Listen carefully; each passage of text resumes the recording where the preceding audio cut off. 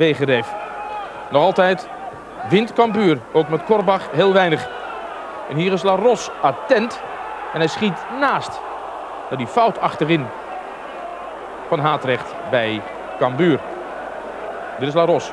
Een hoekschop van VVV. En J. Driessen kopt in. En hier is Grim heel attent aanwezig. En zo staat het nog steeds 0 tegen 0.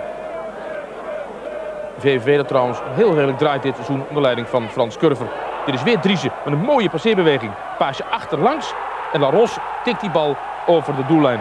En maakt dus 1-0 voor VVV.